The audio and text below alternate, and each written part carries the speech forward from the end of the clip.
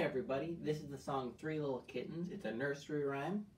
It uses the notes open D, and it uses the note F sharp, which is two fingers on the D string for violins and violas. For cellos, it is three fingers, and for bass players, it is four fingers on the D string.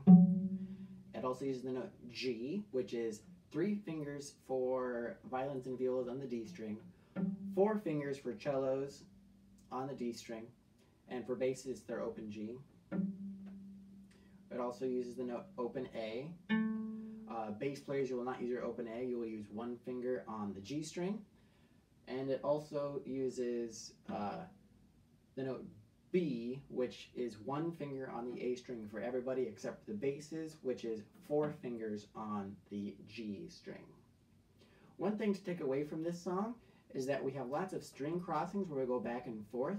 We don't always have to move our fingers and jump in between.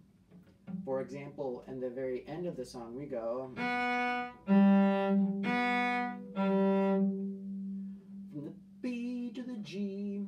Now, we don't have to go from A string mode to D string mode and then back and forth and back and forth. We could actually just have our hand set up with a nice tunnel inside there so that both strings can play and that our left hand just gets to chill right where it's at.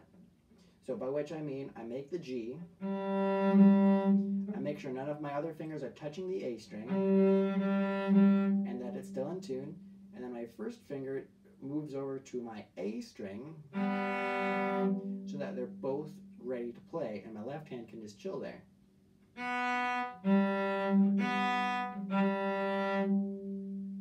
So have fun with this one and try to make a good tunnel like this towards the end of the song. The music is in the description for you to print off or look at on a different device. And my email is in the description if you'd like to send me questions on this one at all. Okay, good luck everybody. Thank you.